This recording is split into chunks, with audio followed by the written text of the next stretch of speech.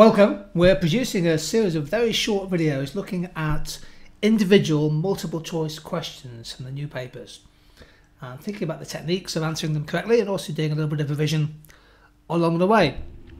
This is a micro question looking at causes and effects of changes in the market price of uh, tablets, such as a, an iPad Pro, for example. Here's our question uh, after I've read the question through, if you want to think about the answer, just press the pause button and then uh, a few seconds delay and I'll be with you with the answer. The demand for tablets increases while the cost of producing them decreases. What will be the effect on the price of tablets and on the quantity supplied? There's the question.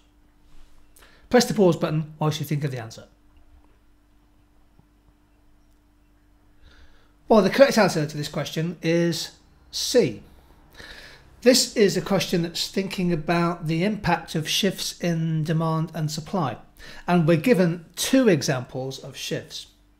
It's good technique if you're not too time pressured, just to quickly sketch on a supply and demand on a supply and demand diagram what actually might be going on if you read the question through.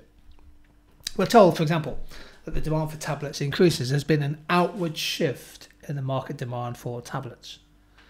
But we're also told that the cost of supplying them, the cost of producing them, has decreased, perhaps because of economies of scale or a significant advance in production technology or labour productivity. And of course, that factor causes an outward shift of supply.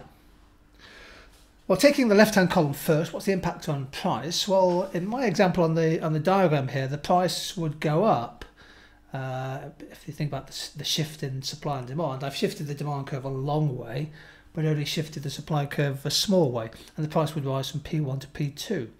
But of course, that's not certain because I've only shifted the supply curve by a little bit. Indeed, if I was to be more generous and argue there was a significant increase in supply, let's say to S3, then the equilibrium price intersection of S3 and D2 would be at price P3. The price could be higher or lower than P1? So the answer is definitely C or D.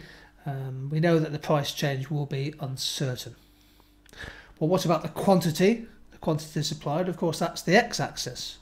And we know that the equilibrium should be the case that regardless of which way or how fast, uh, how far the supply curve has shifted, the, the equilibrium quantity, the intersection between demand and supply will be at a higher equilibrium quantity quantity supplied will definitely increase. So the price change is uncertain, but these are two factors that both increase the quantity supplied of tablets into the marketplace. Hence, the answer is C to this question. Lots more questions uh, coming up on the on this particular playlist. So we'll be adding two or three questions every week to keep abreast of multiple choice exam technique.